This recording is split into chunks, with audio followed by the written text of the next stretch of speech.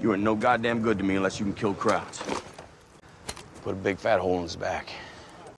Put a big fat hole in his fucking back. No. Why the hell not? It's not right. Not right. We're not here for ah! right and wrong. We're here to kill them. You know why he's here? He's here to kill you. He's here to rip your throat out and pull it in your. Ah! He kills you, or you kill him. Simple math. You or him. Pick. I can't do it. Stop. Oh, no, no. That's the easy part. Please don't make me do Don't make me do this.